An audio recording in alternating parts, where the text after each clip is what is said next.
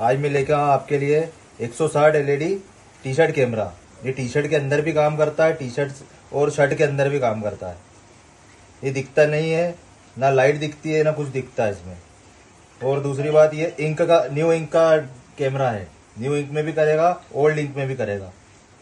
और इसका power bank से चलता है, ये पावर बैंक इसका कम से कम तीन घंटे इसका बैटरी बैकअप है। ये मैंने ऑन कर दिया है।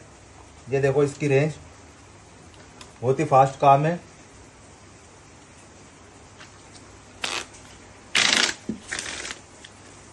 टी शर्ट में भी करेगा शर्ट में भी करेगा। और सनलाइट में भी करेगा। बहुत फास्ट स्कैनर है।